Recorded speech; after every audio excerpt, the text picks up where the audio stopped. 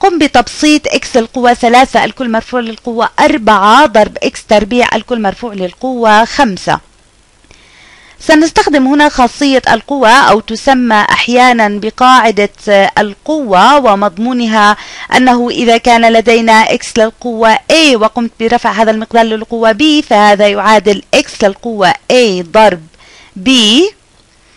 ولنفهم سبب نجاح الخاصية دعونا نقوم بتطبيقها على آه حسنا لا أريد هذه هنا. سأقوم بتطبيقها على مثال أبسط لنأخذ x تربيع الكل مرفوع القوة ثلاثة. حسنا في هذه الحالة هذا يعني أن نضرب x تربيع بنفسها ثلاث مرات.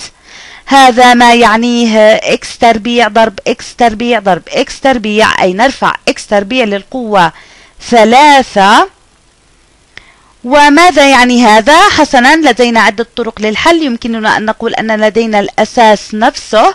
فنحصل على الناتج عن طريق جمع الأسس.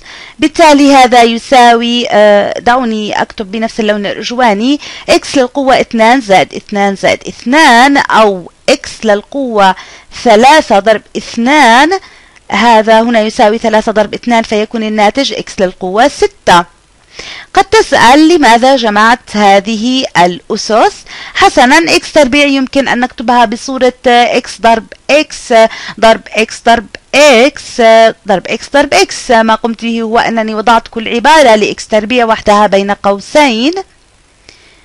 آه هذا ما يعني x مضروبة بنفسها ست مرات. هذه عبارة عن x القوة ستة لهذا يمكننا جمع الأسس بهذه الطريقة.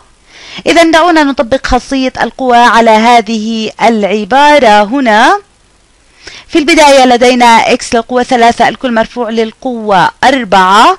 ما يعني x للقوة ثلاثة ضرب أربعة؟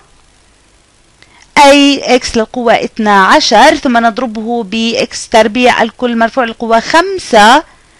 آه، حسنا سيكون ناتجه x للقوة 2 ضرب 5 أو x للقوة 10 والآن بما أن لدينا نفس الأساس فيمكننا أن نحصل على الحاصل عن طريق جمع الأسس فيساوي آه، x للقوة 12 زائد 10 أي x للقوة 22 انتهينا.